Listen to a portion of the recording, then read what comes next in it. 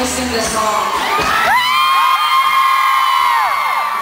Sometimes I really hate playing some of the old songs, but whenever we play this one, I have this obsession with watching people sing it. I don't know, partly because some of you just look so fucking angry when you sing it. Like,